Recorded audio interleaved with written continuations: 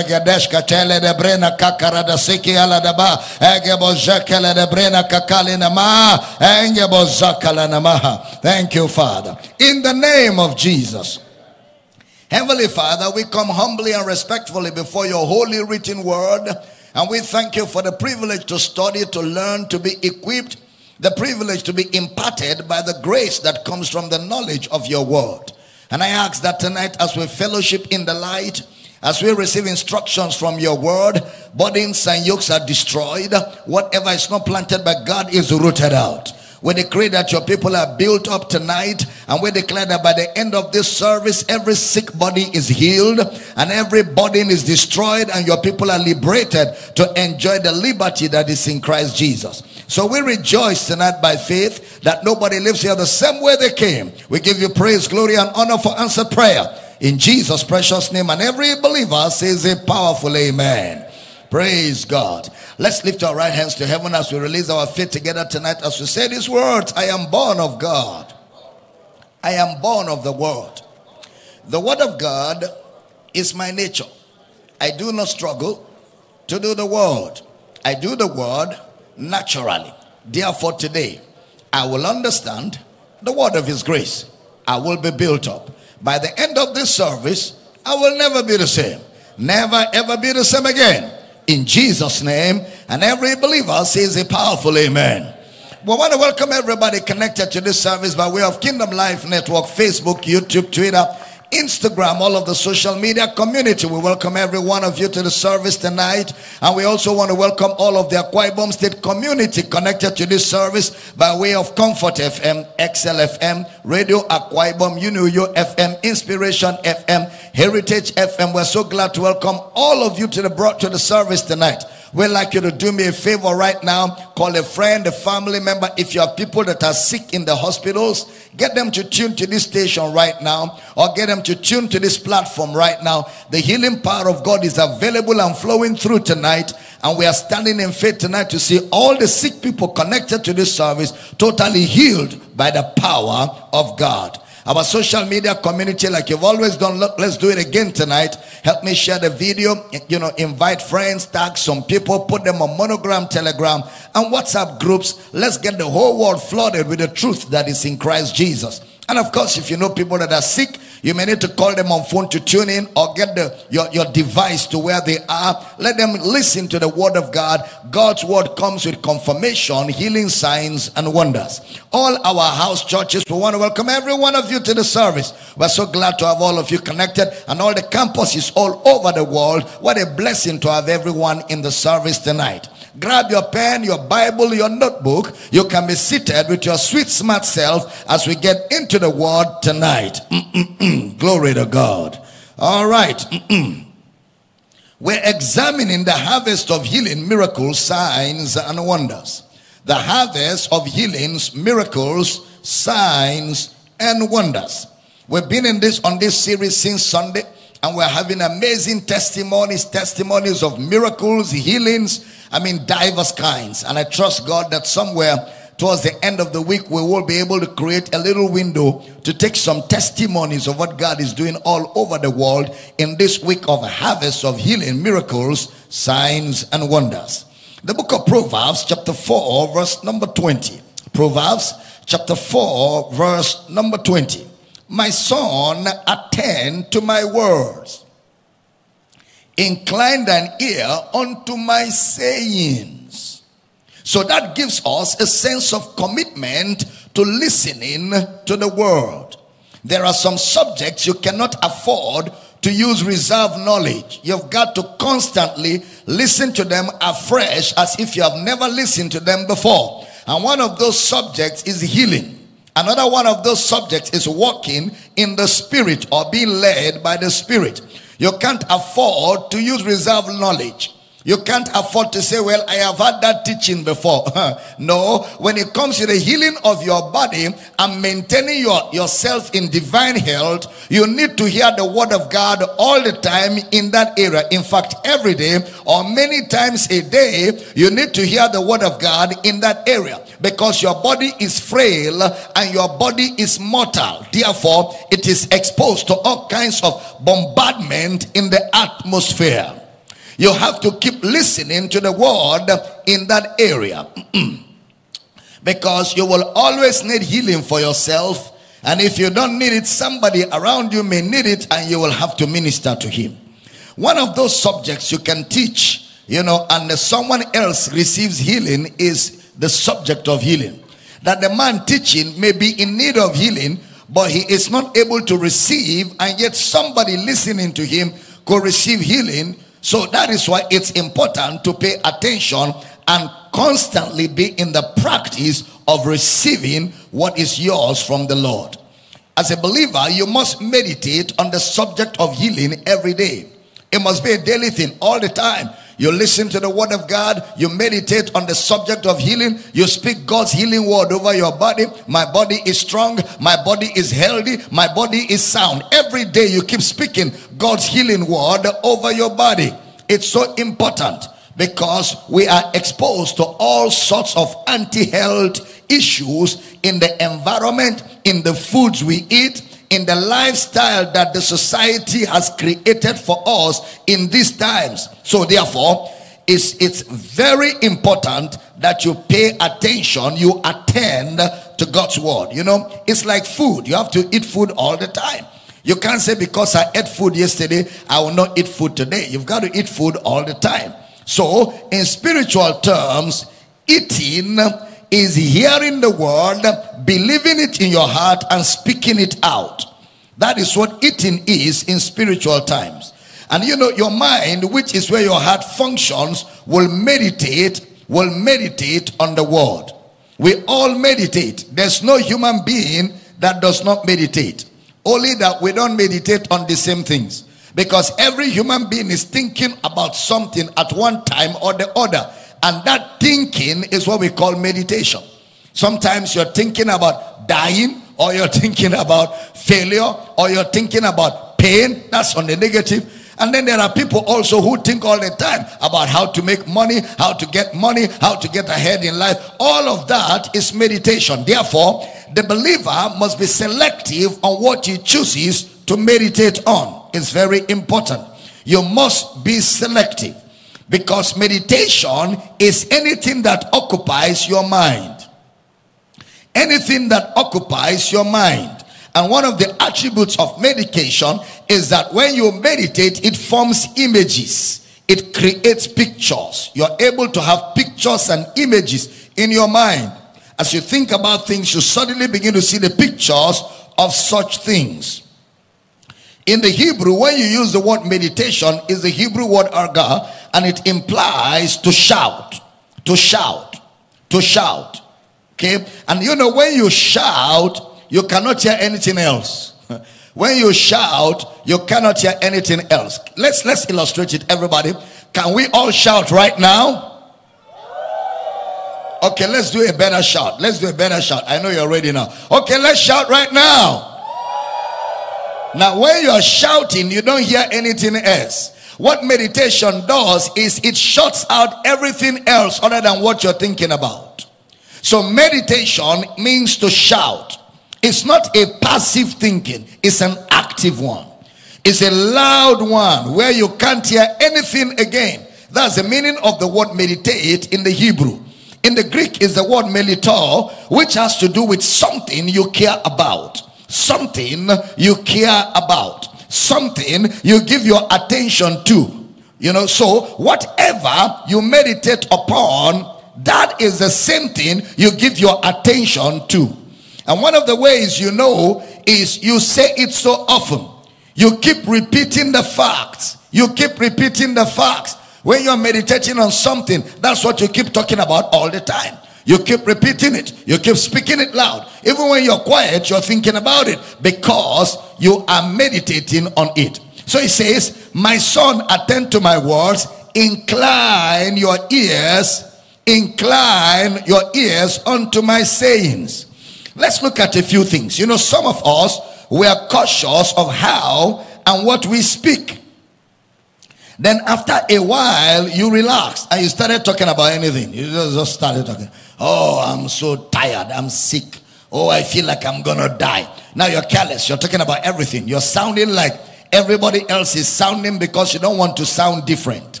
Now you need to be meticulous in your everyday living on how you use words generally. How you use generally. Mark 11 23. Mark 11 23.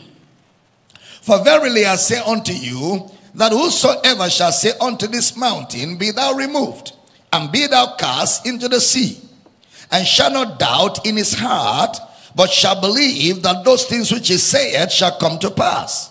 He shall have whatsoever he saith. The background was that Jesus spoke to a fig tree, which figuratively had to do with what he said about the temple. But just like, like every sign of Jesus, the miracles of Jesus will always point to a greater event. But the miracles always had a principle of faith or a principle of, of Christian living. So in Mark 11, he saw a fig tree, he spoke to the tree. No man eat fruit of thee hereafter and forever. And his disciples heard him. One thing was that he spoke. Jesus spoke. If there was something about Jesus outstanding in the four gospels was how he spoke. How he spoke. In fact, at some time they said he spoke as one that had authority and not as the scribes. All right. So Jesus' words were authoritative. Whether he was teaching or praying for the sick or rebuking the Pharisees and the Sadducees, whatever he was doing, his words were authoritative. The same way he spoke to the fig tree. It was not anything different from how he has been, you know, as he has been teaching. He said, No man eat fruit of thee hereafter and forever. And the disciples heard Jesus. Then, when they were coming back the next day, the Bible says, on the morrow, Peter calling to remember and said, Master, the tree which you caused is withered, oh, is withered from the roots. Is withered or dried up from, from the roots. Then Jesus now says in Mark 11 22, put it up for me, have faith in God or have God's faith or have the faith that God gives. Have God's faith or have the faith that God gives. Have faith in God. Next verse 23. Whosoever, I mean, verily I say unto you, that whosoever shall say unto this mountain, unto this specific mountain, be thou removed and be thou cast into the sea, and shall not doubt in his heart, but shall believe that those things which he saith shall come to pass. He shall have whatsoever he saith. So he puts the emphasis on how Jesus spoke. Not just the fact that he spoke, but how he spoke. Whosoever shall say to this mountain. So he is not just talking about speaking, he tells you how. If Jesus was talking about himself, he will not use whosoever. So whosoever shall say implies anybody can put himself there to this mountain be thou removed and be thou cast into the sea just like salvation for God so loved the world that he gave his only begotten son that whosoever, whosoever shall say, whosoever believeth in him shall not perish. So when he says whosoever in the faith of God shall say and not doubt. Whosoever in the faith of God shall say and not doubt but shall believe those things he says shall come to pass, he shall have whatsoever he says. The construction there is such that the last one carries something you keep saying in, you know, without end. You just keep saying it. You keep saying, you keep saying, you keep saying, you keep saying, you know, without end. If there was no need to persist, the word shall not doubt wouldn't be included. It's a persisting saying. It's not a casual saying. It's a saying wherein you persist. Which means that it's very possible that I will say and nothing is happening. So that is why I persist in saying. I may say and nothing is happening. It doesn't mean it will not happen. But I've got to persist in what I'm saying until what I'm saying takes effect. All right? That's why he says, and shall not doubt in his heart, but shall believe that those things he saith shall come to pass. He shall have whatsoever he saith. This where sometimes we have symptoms. You've been prayed for, hands have been laid on you, and you still feel the symptoms and pain. Oh, yes. You came for healing. We taught you the word of God. We laid hands on you. We prayed over you. You believed you received. You acted in faith, but you still have the symptoms and the pain. So you persist and keep saying, the power of God is at work in my body. You keep saying that. You keep saying that. The power of God is at work in my body. He says, and shall not doubt in his heart, but shall believe that what he says shall come to pass. He shall have. As long as he keeps saying it and does not allow room for doubt. If he stays with it, it will surely come. And shall not doubt in his heart. Few years ago, I mean quite a few years ago, when I was still growing in my Christian journey with God, I came across a book that built up my faith where healing was concerned. And then the guy told the story of a young man in, in New York who went to a lab for a test and they said they saw a tumor, I think a tumor in his heart or so. And they said he needed an emergency operation. And he said to them, Well, I think something is wrong with your x ray machine. When you fix your x-ray machine, I'll be back to do the test again. So he left and went to another lab. And the lab did the test and saw the same thing. And he said to them, the problem is with your machines. I've been warning all of you to fix your machines. I am healed by his stripes. I cannot have a growth in my heart. Anyway, when you fix your machines, I'll be back. He went to the third place. No jokes. Went up to the seventh. At the seventh lab, they told him there is no iota of anything. Your heart is hale and hearty. He said, You got the right machines. You've got the right machines.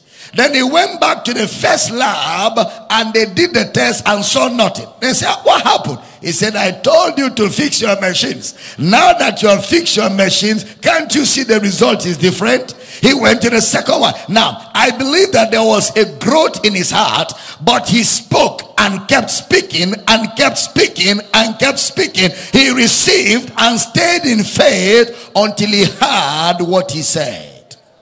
You persist. You say it because it must work or it must work or it must work or it must work. Why? Because the word has worked.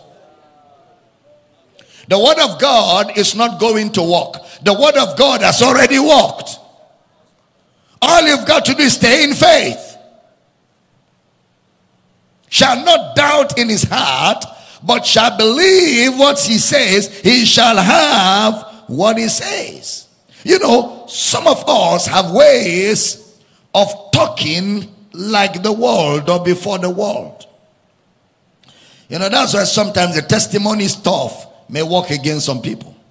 It's like putting up an appearance for people to believe us. We just say it so that people can be happy. But when we are alone, we keep quiet. we're saying nothing. Here he says, shall not doubt in his heart, but shall believe that those things he said shall come to pass.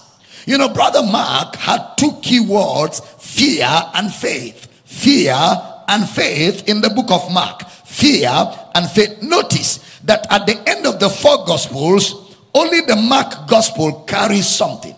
He that believes and is baptized shall be saved. Then he says, He that believes not shall be damned. Salvation, damnation. Faith, fear in the book of Mark. Believe what? Believe what you say. They that believe what you say and are baptized shall be saved. Why? Because you are preaching the gospel, which means that words are very vital and words are very key. My mouth is not just for eating. Can I hear you say that? Say with me again, my mouth is not just for gisting. So God didn't give you a mouth just to eat and to gist. If you observe, the scriptures give you a guideline on what to do with your mouth. There's a guideline on what to do with your mouth. Number one, don't sin with your mouth. Regulate it. Why? Because my mouth is to preach the gospel. Mark 16, 15. Go into all the world and preach the gospel to every creature. My mouth is to preach the gospel. Number two, my mouth is to give thanks to God always. I use my mouth to give thanks to God always. Number three, I use my mouth to pray. I use my mouth to pray. Number four, I use my mouth to edify the brethren. I use my mouth to speak in tongues and interpret, or I use my mouth to prophesy. So, therefore, I must see my mouth as a tool for spiritual realities. I must see my mouth as a tool for spiritual realities. Why? Because I preach the gospel with my mouth. I praise God with my mouth. I pray with my mouth. I'm filled with the Spirit with my mouth. Ephesians 5:18. Be filled with the Spirit, speaking, verse 19, speaking to yourselves. Be being filled with the Spirit, speaking, speaking. So I am filled with the Spirit using my mouth. That is what I'm supposed to chiefly use my mouth for. So the Mark 11 principle is applicable even in the preaching of the gospel because you use your mouth to preach the gospel. You don't preach the gospel by meditation. You don't preach the gospel by nodding your head. You open your mouth to preach the gospel. So the gospel cannot be preached if the mouth is not engaged. I will say in my preaching. Look at Acts chapter 2. You know, after Luke had told us what Peter preached, he now told us in verse 40, Acts chapter 2, verse number 40. Acts 2, verse 40. And with many other words, other words, did he testify and exhort, saying, Save yourselves from this untoward generation. With many other words, the words of Peter in verse 41 of Acts chapter 2, Acts chapter 2, verse 41, then they that gladly received his word, that gladly received his word, were baptized, and the same day they were added unto them about 3,000 souls. So, what will you say? If you say God saved 3,000 souls, you are right. If you say God saved 3,000 souls when Peter spoke, you're right. Or God saved 3,000 souls as Peter admired them, as Peter looked at them, as Peter was clapping for them. No, as Peter spoke. So, which means that when I am talking, God is walking. When I am talking, God is walking. Every time I talk the talk, God walks the walk. When I'm talking, God is walking. But you know, the words look like I am just talking. That's how it looks like. I'm healed. I'm healed. No, God is working when you're talking. But as I am talking, God is at work, which means my words are God's tools in the earth. My words are God's tools in the earth. My mouth is God's tool in the earth. My mouth is God's tool in the earth. Glory to God. Say with me, everybody. My mouth is the access of God's power into the earth. My mouth is the access of God's power into the earth. So if I don't open my mouth, I am denying the power of God access into the earth. My mouth is God's instrument of accessing the earth with God's power. Say with me again the power of God comes into the earth through my mouth. Say it again the power of God comes into the earth through my mouth. That is my speaking. See? So my speaking puts the power of God into action. We say the gospel is the power of God unto salvation. How is the gospel, which is the power of God unto salvation, made available? Through my mouth. The gospel, which is the power of God unto salvation, is only given access to humanity when I open my mouth. So my mouth is God's tool of transmitting his power into the earth. You must never forget that. Kabayada. So this my mouth brings the power of God into the earth realm. My mouth utters things. It brings, it regulates, it directs, it channels the power of God into the earth realm. My mouth. How do you know you're born again? Somebody preached the gospel to you. You heard it, you believe it, you spoke. You are saved. How are you saved? Someone preached the gospel to you, which means that the person's words gave access to God's power to save in the earth. When I preach, I am giving God's power access to save men on the earth. Every time you're preaching, you are regulating, you are channeling God's power for the salvation of men. That's why without the preacher, men cannot be saved. How can they hear without a preacher? And how can the preacher preach except he be sent? The preacher can only preach when he is sent. Are you still here? You know, you can decide to train your mouth this year. You can put your mouth in a training class. Since you know that your mouth gives access to God's power, train it to speak what God will work with. Train your mouth to speak what God will work with. Don't allow your mouth give Satan access. Train your mouth to speak words that God can use. We saw from scriptures how that your words can corrupt another person. In James chapter 3 verse 1, look at James chapter 3 verse 1. Brother James says, My brethren, be not many masters, knowing that we shall receive the greater condemnation. Next verse 2. For in many things we offend all. If any of any man offend not in word, the same is a perfect man and able also to bridle the whole body. Next verse.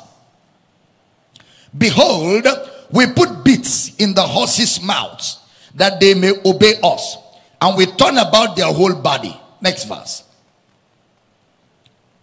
Behold also the ships, which though they be so great and are driven of fierce winds, yet are they turned about with a very small helm, whithersoever the governor listed. Next verse. Even so, the tongue is a little member and boasted great things. Behold, how great a matter a little fire kindleth. Next verse. And the tongue is a fire, a world of iniquity. So is the tongue among our members, that it defileth the whole body and setteth on fire the course of nature, and it is set on fire of hell. That is, your tongue determines the destination of your life. Your tongue determines the outcome of your life. Putting your body under will be a function of your words. Your words will put your body under. If you want to break a habit or you want to break addiction, it begins with what you say. If a man is addicted to something and he wants to be free from it, he has to start saying the right words because your mouth will channel the power of God that will ultimately free you from that addiction or habit. You've got to mind what you say. In a humorous way, you've got to mind your language. Hmm. you mind your language. You mind your language. Say with me very loud I acknowledge what God says I am. I affirm who God says I am. And I can do what God says I can do. I thought somebody would shout hallelujah. So you first of all affirm the reality of what you will practice in whatever you say.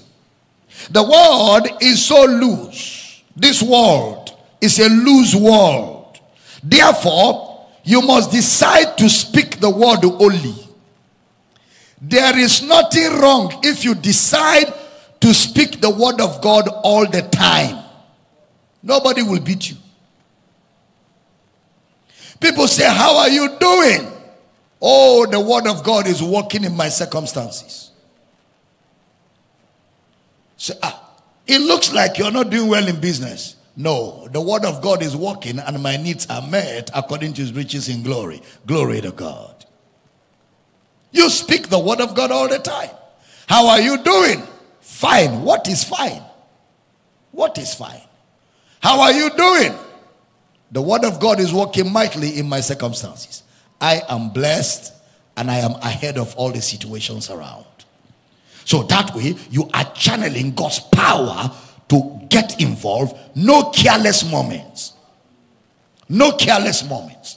At all the time, you are guarded. You are speaking. How forcible are right words? Stop trying to impress people at the detriment of your life. Speak what God says. And speak what you know God will work with. Don't just speak because you want to speak. Speak because you believe what you're saying and because you know that those words will give access to the power of God. He says, by the many words, whose words? Peter's words. See what Peter said in Acts chapter 5, verse 20. Acts chapter 5, verse 20. Go stand and speak in the temple to the people all the words of this life all the words of this life. He says, Send for a man called Peter that he may speak words whereby you shall be saved. Words.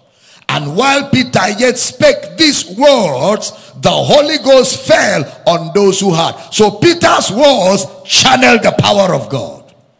Peter's words directed the power of God. Put value on your words as a child of God. I mean, imagine the pictures of an agent, of an angel that Peter saw did not bring salvation. An encounter with the angel did not bring salvation. The salvation came to the house of Cornelius by what Peter said.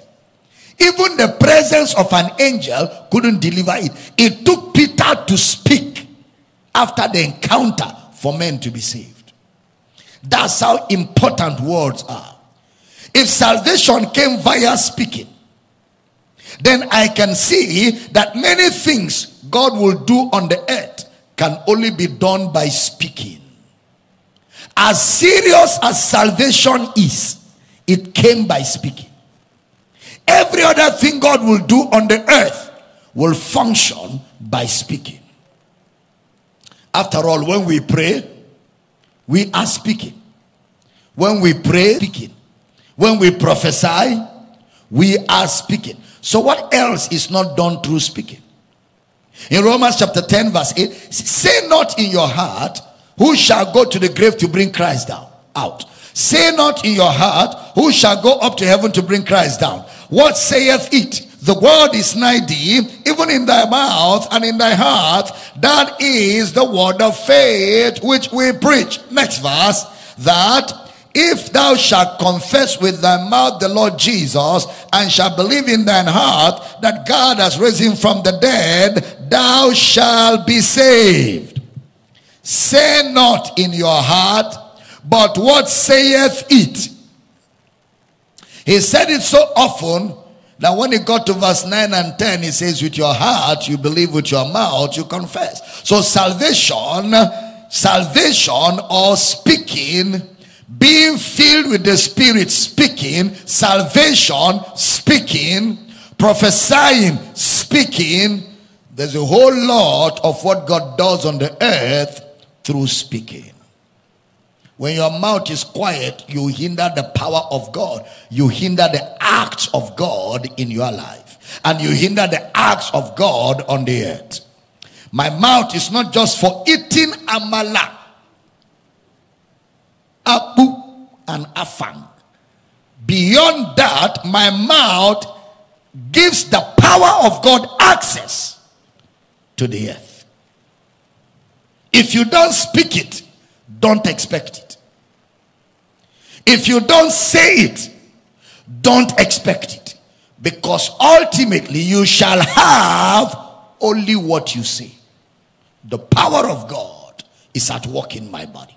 The power of God is at work in my circumstances. The power of God is at work in my family. Praise God. I say, Praise God. Thank you, Lord Jesus. Thank you, Lord Jesus. So, my mouth is an access for the power of God in the earth today. Words whereby you might be saved. How did Jesus know his disciples were afraid? By what they said. Master, carest thou not that we perish? Those are fear filled words. And Jesus stood up and said, Peace, be still. He called the things that be not as though they were. What was available? Perish, threat, threat to life. What did Jesus say? He didn't say threat, he didn't say confusion. He said peace, which is the opposite of the circumstance. He called the things that be not as though they were. You feel pain, you shout health. You feel weakness, you shout strength. You call the things that be not. Don't call the things that are as though they are not. That's not what you're told. You're told to call the things that be not. Speak the expected end. Speak the expected end and speak it all the time. I am what the word says I am. In other words, the same way fear is access into the earth by words, fear will die unborn when it is not uttered. Fear will die unborn when it is not uttered. Till you give it the same legitimate right in your words, it will die unborn. So Jesus knew that they were afraid by what they said. By what they said. By mouth, therefore, it's God's access into the earth. My mouth brings salvation. My mouth brings direction. My mouth brings healing.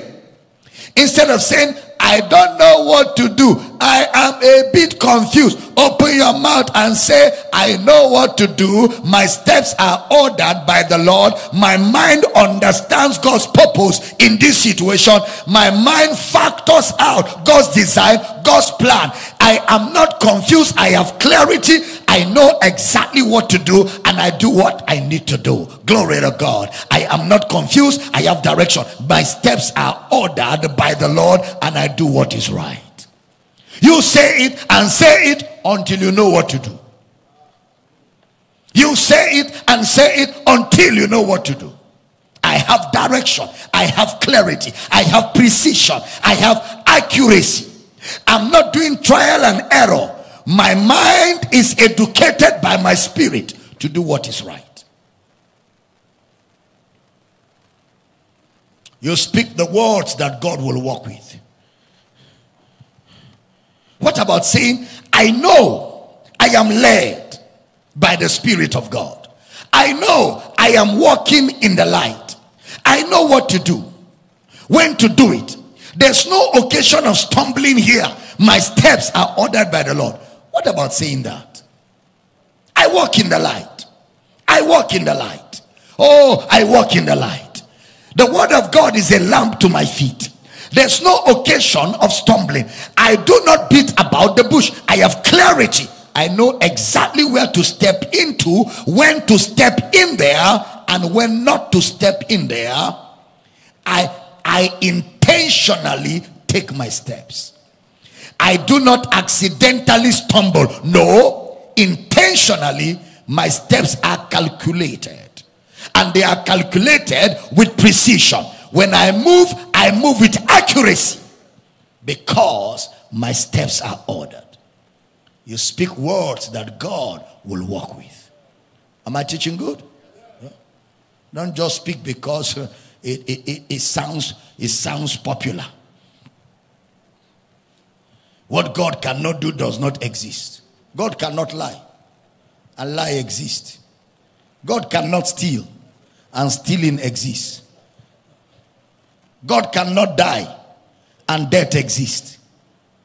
Don't just, don't copy cliches. Follow doctrine. Don't follow cliches by motivational speakers. Follow sound teaching so you can have a sound life. My steps are ordered. My going out is blessed. My coming in is blessed. My life is intentional. I do not live accidentally. No, my life is calculated with precision. So the outcome of my life is exact. I know exactly what I will be like in the next five years. My life is not an accident. My life is predestined and predesigned by God. And I live a life that is purposeful, a life that is accurate within the confines of God's plan, God's purpose, and God's assignment for my life. I am not an accident going somewhere to happen. I am a well predestined, well ordained life going somewhere to fulfill God's ultimate plan. You speak words that the Holy Ghost will work with. I don't know, I don't know, I don't know. Uh, let's just try. No, we don't just try. We don't just try. If you don't know, stop and keep saying, I know what to do until you know what to do. praise God. I say, Praise God. You are not responding with a doubt in your mind, you are speaking the integrity of God's word. Because you walk in the light as is in the light, you do not walk in darkness. You have put the word of God ahead of your experiences. Say with me very loud no fear here, no anxiety here, no panic here. I didn't hear a good amen. When things get out of control, hold yourself together and say, God supplies my need. God supplies my need.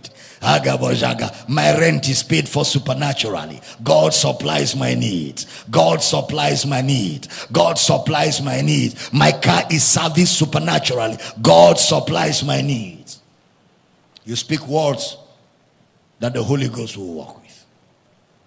Teaching good? What you're doing is you're giving access to God's power on the earth. You're giving direction. Yeah. Imagine Jesus saying, Every idle word a man speaks, he will give account. That's heavy. One of the examples we have about Jesus in scripture is there is no guile found in his mouth. No guile found in Jesus' mouth. In fact, First Peter 2:21 says, when he was reviled, he reviled not. When he was reviled, he reviled not. So my words are vital.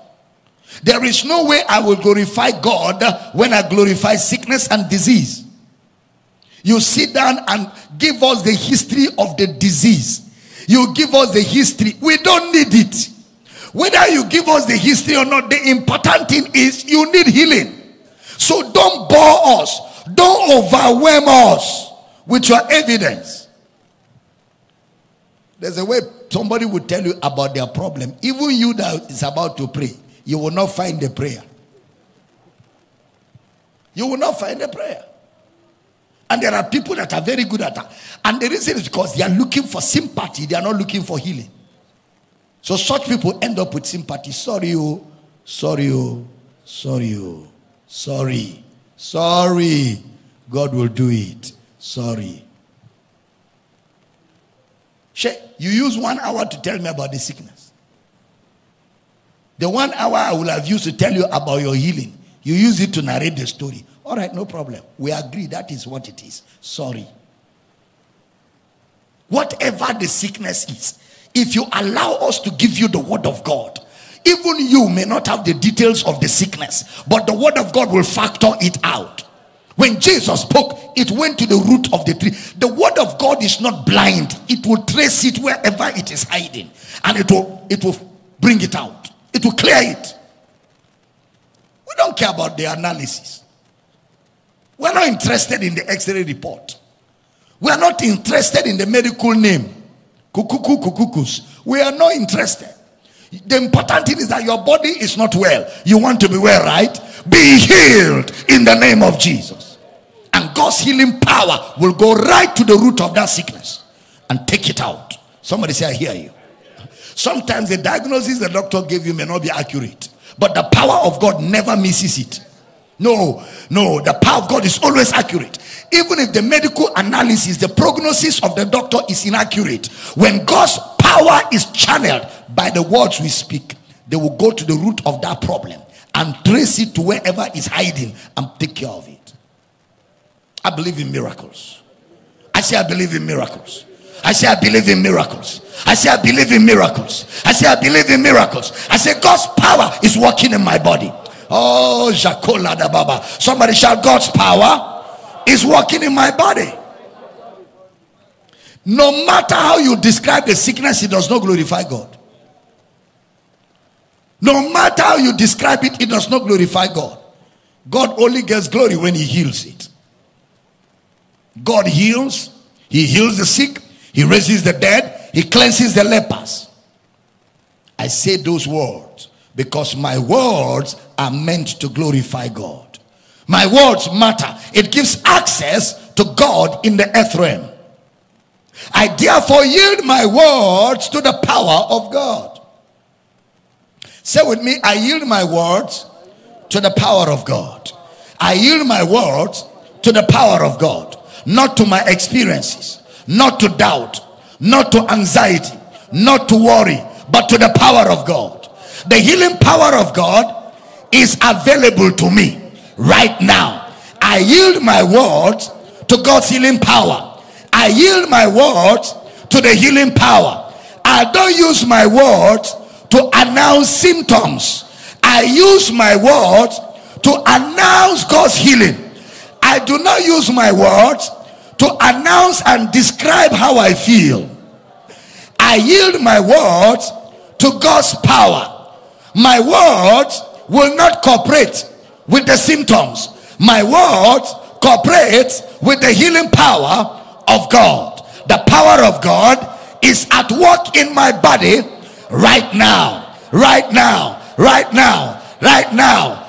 My natural human mind wants me to discuss symptoms, but symptoms don't glorify God. So I suspend my mind and I speak by my spirit. The power of God is at work in my body. Pain does not stay, disease does not hide in my body. I have been bought with a price. Therefore, I glorify God by healing in my body. I receive healing, I receive miracles, I receive healing, curative healing, curative healing, restorative healing. I receive miracles for my body right now. Every organ of my body functions well. I thought I'll hear powerful amen. The power of God is at work in my body right now. Hallelujah. You know, when you tell people about your problem, your sickness, and your disease, you have a temporary relief because you discuss. But after the discussion, it increases. When you pour out your heart, I'm looking for somebody to pour out my heart. I want to pour out my heart. You know, when you pour out your heart, you have a temporary relief. But you can decide to put the word of God in your lips and say what God says until your body conforms with God's realities. Praise God. In Mark chapter 5 and Romans chapter 4, somebody getting blessed tonight. In Mark chapter 5 and Romans chapter 4, we're going to we're going to look at it quickly.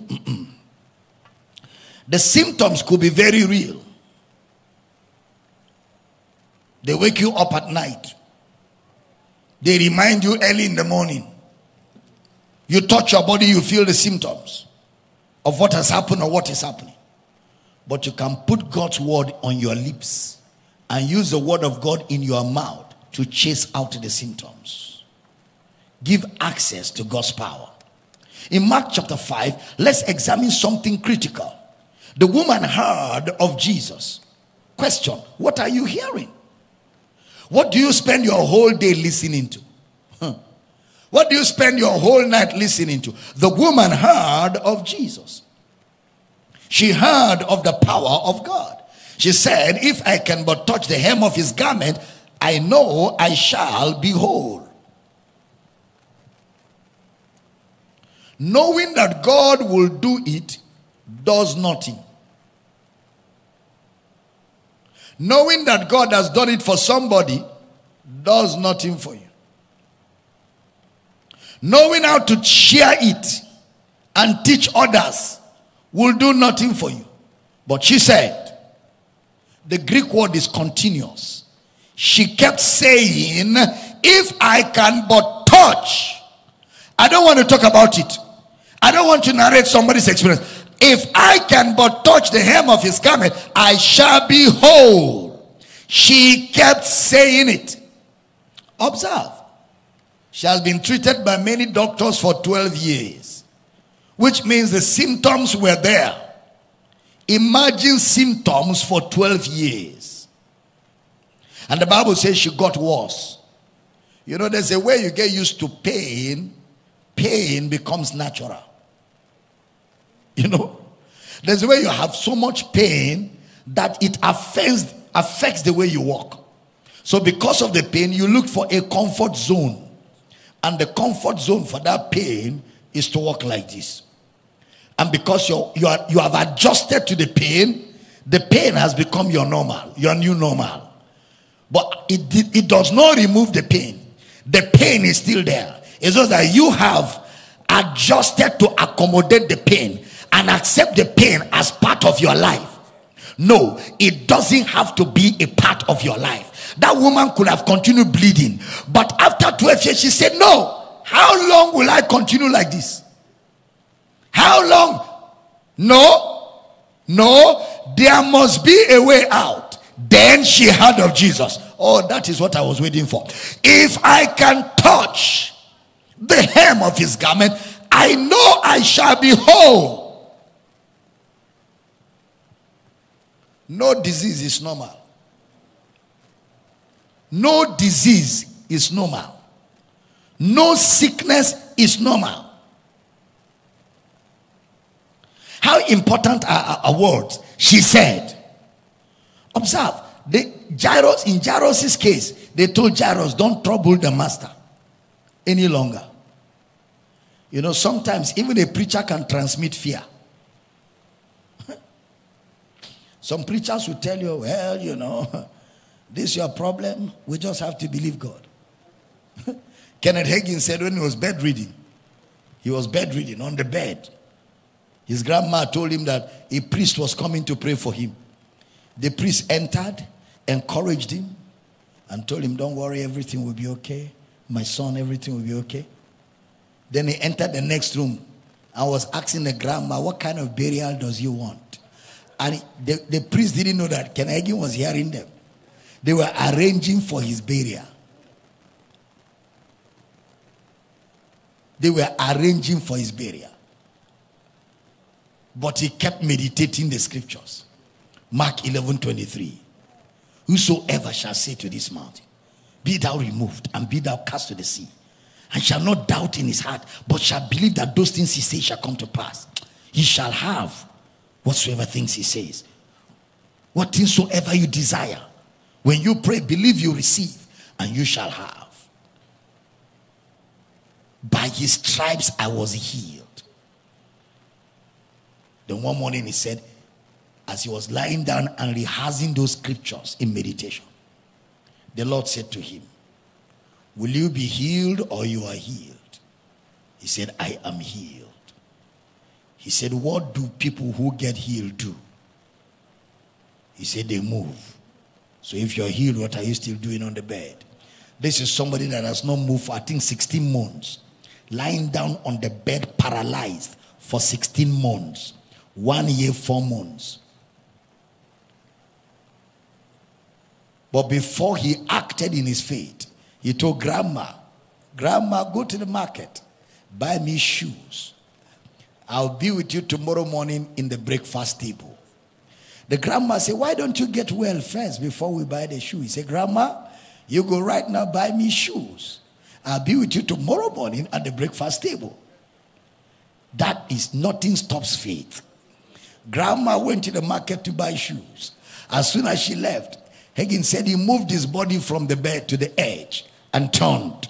And for the first time, dropped his two legs. Needles began to run through the legs. He felt like he was going to faint. He waited for a while and moved his bum bum off the bed, came down, put the first step down, stood up and staggered like he will fall. He said, By his stripes, I am healed. I am healed. If I am healed, I cannot be lying down. By his stripes, I am healed. He took the second step. He staggered, staggered. After a while, he stabilized. He took the third step. He took the fourth step. He took the fifth step. He got to the door and walking back towards the bed. Walking back towards the bed. Grandma came back with shoe. Grandma opened the door and saw Hagin standing. He said, Grandma, I told you. I told you tomorrow morning I'll be with you in the breakfast table. Where are my shoes? Where are my shoes? Oh, glory to God. Where are my shoes? And from that day, he has been alive until he was satisfied and decided to sleep at 80 something. This bedroom was at the age of 16 also. He lived from 16 to 80 something. He refused the doctor's report. Your words will channel the power, or your words will stifle the power. It's in the power of your mouth. This woman kept saying, this woman kept saying, you know, sometimes you can give somebody a medical report without transmitting fear. You can describe a situation without, you know, concluding in fear. Yeah, it's true that there is pain in your body, but Jesus took it. Jesus took it. The power of God is working in your body. You don't deny the fact. Faith does not deny the fact. Faith doesn't say there is no mountain. Faith doesn't say there is no sickness. After all, Jesus said to the blind man, What do you want? He says, Sight. Jesus said, Receive your sight. Jesus didn't say, No, you are not blind. he didn't say, No, you're not blind. Uh-uh. He says, Okay, I agree. Receive your sight. He said, Whosoever shall say to this mountain. So he recognizes that there is a mountain, but the mountain will be removed. We don't deny. We're not saying deny that there is pain in your body. What we're saying is that there may be pain in your body, but the power of God is heavier than the pain. The power of God is more real than the pain in that body.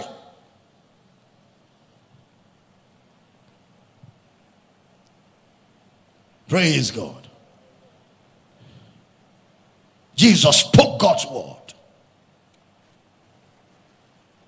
Jesus knew the import of what the people said to Jairus. Trouble no more the master. She's dead. Jesus immediately turned. Fear not, only believe. Fear not, only believe. Listen, there are some things that should die when they get to you. When a rumor gets to you, it should die with you. It should die there. When a negative report gets to where you are, it should die right there. When gossip gets to your direction, that should be the end of that gossip. Nothing should get to you and be transmitted. No, except it's the power of God. There are things people say negatively when they come close to where you are, they should die. Evil speaking should die when it arrives your destination. Dishonor should die when it comes close to where you are. Malice, doubt, unbelief, it should stop as soon as it gets to you. Learn to shut out doubt. When they came to Jairus' house, the people were there lamenting the death of the child. Jesus entered and said, She's not dead.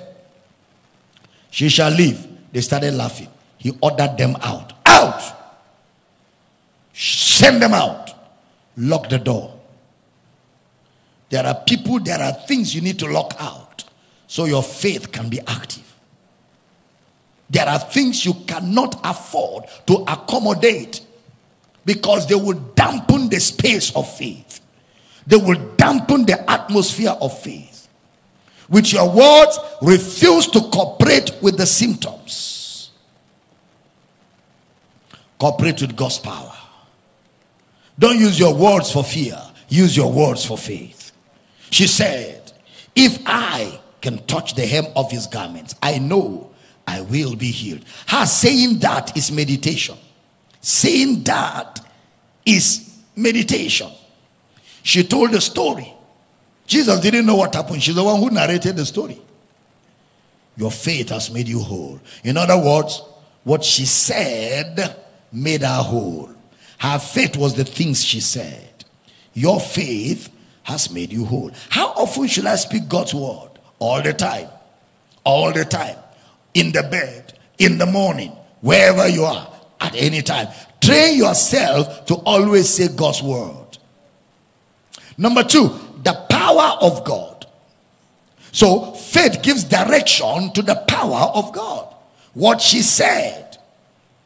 Your words give direction to the power of God.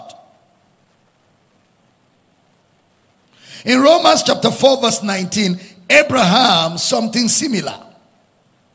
Romans 4 19. and be not weak in faith. He considered not his own body now dead when he was about an hundred years old, neither yet the deadness of Sarah's womb. Considered not his body. How long has the body been dead? Long he considered it not. That means, as God spoke and he believed, he could still see the evidence that Sarah was dead. When he was believing the word of God, the evidence of the deadness of Sarah's womb was still obvious. Look at me, everybody. When God spoke to Abraham, the evidence in his own body and in her body was obvious. But he considered not. You must come to where you don't consider the feeling, you don't consider the physical evidence. You consider only Jesus. Holy brethren, partakers of the heavenly calling, consider Jesus. And you know that is where the faith walk is. He considered not the symptoms 100 years old. That was long enough to quit. Just like the woman, 12 years. Look at that Romans chapter 4, verse 20 to 22. As I begin to round up, Romans chapter 4, verse 20 to 22. He staggered not at the promise of God through unbelief, but was strong in faith, giving glory to God. 21. And being fully persuaded that what he had promised, he was able also to perform. Next verse. And therefore, it was imputed to him for righteousness. He called the things that be not. That means the way Abraham did not consider his body was by what he was saying. How do I not consider how I feel when I begin to say what God says? You can't be saying what God says and be considering your body at the same time. You know, there is something that is very similar to faith. It is called mental assent. Mental assent will describe it. Mental assent will talk about it. Mental assent will even tell you, I have seen it before. It's in the Bible. Mental assent will describe it. It will tell you the Hebrew and the Greek word. But when it comes to acting on the word, mental assent will not act. It will describe everything, but it never acts because it never believed. It never acts because it never believed. A few years ago, I had Creflo, Dr. Creflo Dollar. He gave, he gave an illustration that blessed me. He said somebody is starving and is about to die. And the medical doctor comes in to examine his body and he says, This guy is suffering from starvation. If you don't get food to him in another 30 minutes, he'll be dead. So they bring in a trolley full of food, assorted foods.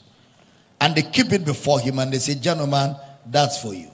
And then he stands up and he begins to say, I believe that if I eat this food, I will not die. I believe that if I eat this food, glory to God, I will not die. I believe that if I eat this food, I will not die. He creates a song. 15 minutes gone. I believe 20 minutes gone. If I eat this food, 25 minutes gone. I believe.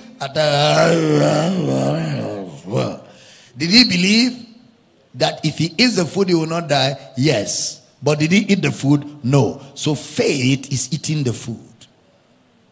Faith is acting on what you believe. Faith is acting on what you believe. If you truly believe that you are healed, you stand up and do what healed people do. Don't sit down and say, I believe I'm healed. I believe. No, no, no. They don't sit down to be believing that you are healed. You stand up and you do something. It is when you stand up to do something that God's power goes into action.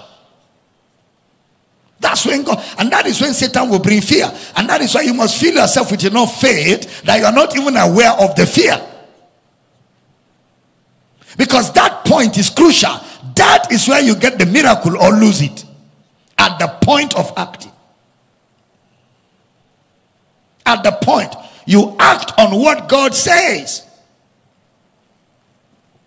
You act on what God says. He calls the things that be not as though they were. And as he was calling, he was not considering his body nor the deadness of Sarah's womb. So when I call the things that be not as though they were, I am giving thanks to God. When I call the things that be not as though they were, I am giving thanks to God. I thank God his power is working in my body. I thank God his power is healing my body now. I mean, you keep speaking. Imagine you're right there on the bed and you're saying, I thank God I'm getting up. I thank God I'm getting up. You're lying down on the bed. I thank God I'm getting up. I thank God my body is responding to God's power. I give God praise. Every organ in my body is cooperating.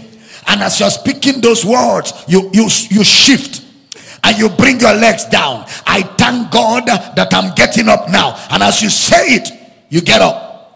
You stagger, you stop. I thank God that my body is full of strength. God's power is working in my body. As you're talking and walking, a miracle just takes place there. It's not enough to talk, you've got to act on the talk. You've got to go beyond mental assent to the supernatural. Am I teaching good tonight? Yeah. God's power is at work. When you say that, you are not considering your body. Why, what about shutting yourself in all day, all night? You speak the word of God, speak the word of God, speak the word of God until you are so full of it, you stand up. Consider not the deadness or the symptoms of your body. Give thanks to God. Give glory to God. Call the things that be not as though they were. Amen. I said, Amen. I said, Amen. While you're feeling the symptoms, you speak the word of God. I have the image of a healed man. I have the image of a, eh, of, of a healthy man. I have the image of a strong man. My sight is perfect. I have 2020 vision. My eyes are in the best state. My hearing is sound. My eardrums are perfect. Shakalataba. Shakalataba. My heart is brand new. My organs are alive. And the power of God is at work in my body. You speak God's word. You speak God's word. They told you your wife cannot have children. You stand up and call her mother of twins. Mother of twins. Mother of twins. I see two nations in your womb. Mother of twins. Lakotabayata. Lakotabayata. Lakotabayata. And after you call her mother of twins, go in and do the needful. Go in and do the needful. Mother of twins. Back it up with action. And let's see where that devil that was born will stop that pregnancy from coming. You speak what God says. You speak God's word. Because God's word gives access to God's power on the earth. And while you're talking, God is working. While you're talking, God is working. While you're talking, God is working. So keep talking. Let God keep working. And it won't be long. You will see the result of your talk. Glory to God. I say, Glory to God. I say, Glory to God. I say, Glory to God. What did we say when we got born again? We said our sins are forgiven. We call the things that be not as though they were. When we got born again, we said we are righteous. When we got born again, we call the things that be not as though they were because they are our reality. When we pray or praise, what are we doing? We're calling the things that be not as though they were. Hallelujah. What do we do when we prophesy? We are calling the things that be not as though they were. What do we do when we preach?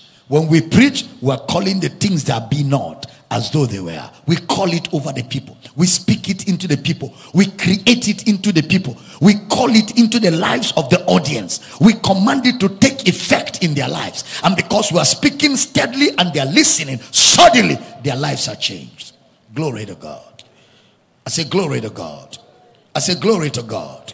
I say, Glory to God. Say with me this week, I walk in the power of God constantly.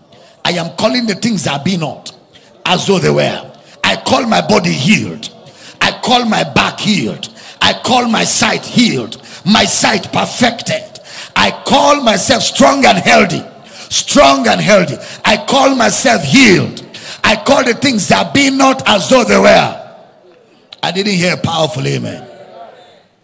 I didn't hear powerful amen. I dare to call the things that be not as though they are. I dare to say, I am healed. I dare to say, I am healthy. I dare to say, I am strong. I dare to say, I am well. I dare to say it.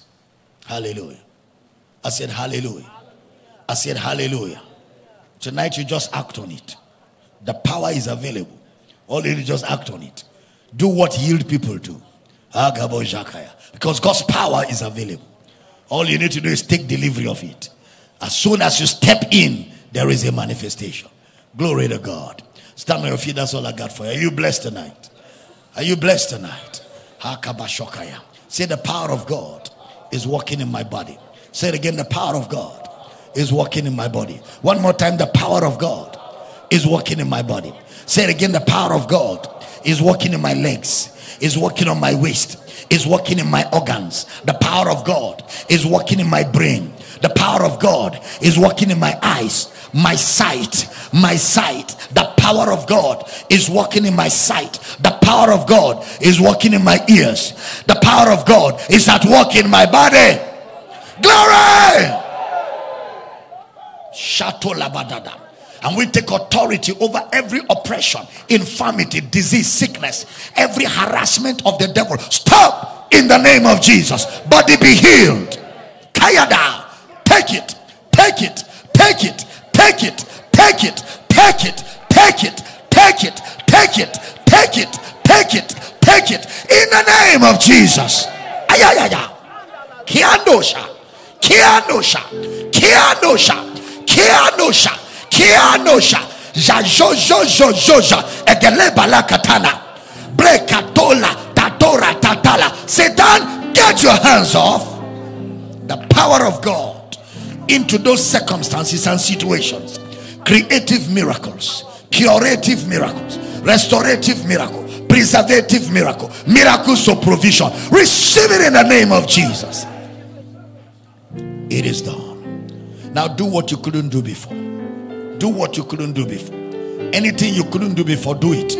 Your body is responding. Your body is cooperating. Your body is responding. Your body is cooperating with God's power. Your body is aligning with the power of God. Your body is aligning with the power of God. Your body is aligning with the power of God. Your body is aligning. Nakoda. Nakoda. Nakoda. Nakoda. Nakoda. Nakoda. Ayakatatatata. Broken bones are being mended. There's a mending, there's an alignment, there's a perfecting. Pain, go, go, go in the name of Jesus. Father, we rejoice and we speak to every circumstance, every situation. We declare right now you have creative miracles in your finances. You have direction, you have clarity. Your thoughts are ordered, your thoughts are directed, you are intentional, and everything is working around you. Father, we give you praise. Now go ahead and do what you couldn't do before. Quickly go ahead, do what you couldn't do before. Begin to rejoice, begin to rejoice, begin to celebrate. You couldn't stand up, stand up. You couldn't see, see. Grab something and do what you couldn't do before. Miracles all over the place. Father, we give you praise. Father, we give you praise. Father, we give you praise. Glory to God. Glory. Amen. Whoa, I tell you, it's all over this place. Now, listen to me quickly. We'd like you to call our office, share with us your testimonies. We want to hear what God is doing with you, what God has done to you know in your life within the last four days or three days since we started teaching on this. We still have a few more days to go, and it's getting more and more exciting. Listen very carefully. Give us a call. We want to share in your testimonies. I want to take up your offerings quickly before I join Mr. Michael Bush in the other studio where we'll be bringing to you questions, you know, answers to your questions and response to all your queries that you have sent by email. And I want to encourage you again, those of you that have a lot of things to ask, begin to send in your questions and your testimonies and your queries to ask the at gmail.com because Mr. Michael Bush and myself we're going to start attending to the current mails and current testimonies and all the things you are emailing us beginning from this Sunday. We're going to go live into Ask the Counselor and we're going to open all the phone lines and we're going to interact. It's going to be explosive from Sunday. So quickly shoot your emails, send us questions, send us your responses, share with us your testimonies, tell us what God has done in your life, what God is doing in your life. We're excited and we are we you know we're looking forward to hearing all the positive results around reports around the world.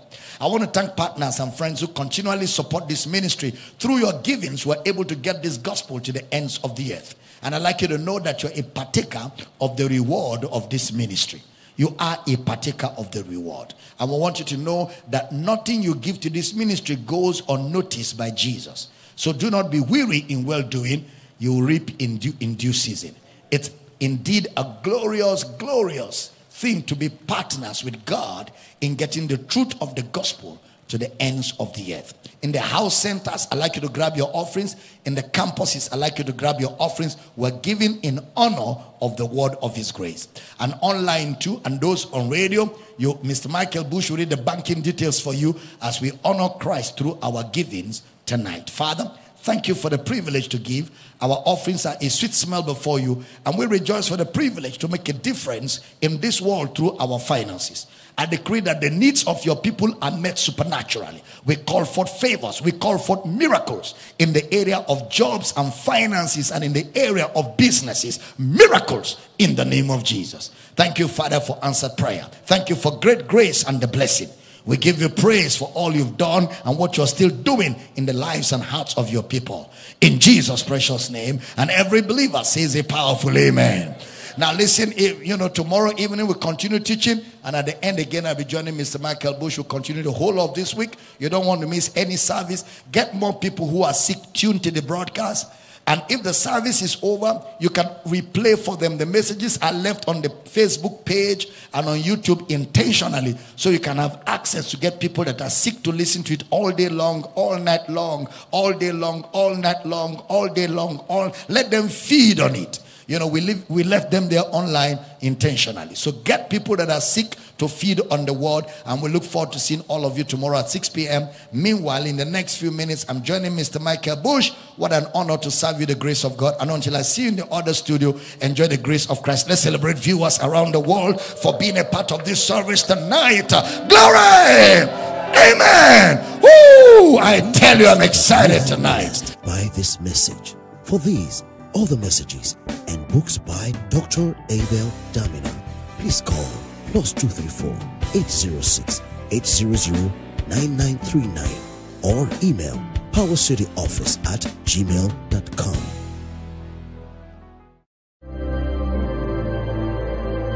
It is the will of God that we should be in good health always and be healed of every infirmity. If you don't need healing, someone around you definitely might need it. This is your opportunity and for those sick around you to be connected to the teaching of God's word for healing. Don't forget, God's word is God's medicine. I prophesy as your amen will come like thunder, you will swim in the miraculous. Power City International presents Harvest of Healing, Miracles, Signs and Wonders, ministering Dr. Abel Damina. Date 11th April to 18th April 2021. Time Monday to Saturday, 6 p.m. daily, and on Sunday, first service 8 a.m. and second service 11 a.m. GMT plus 1 and a rebroadcast on the following radio stations. Radio Akwa Ibom 90.5 FM Uyo 11 a.m. to 1 p.m. XL FM 106.9 Uyo 3 p.m. Unuyo FM 100.7 Uyo 3 p.m. to 5 p.m.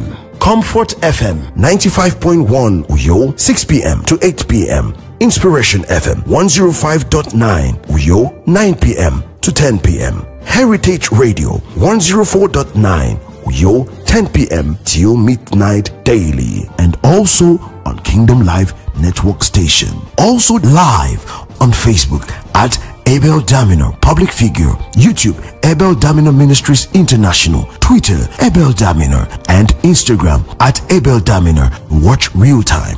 Venue Power City International, number 98 Nwaniba Road, Uyo, Akwa Ibom State, Nigeria. Host Doctors Abel and Rachel Damina.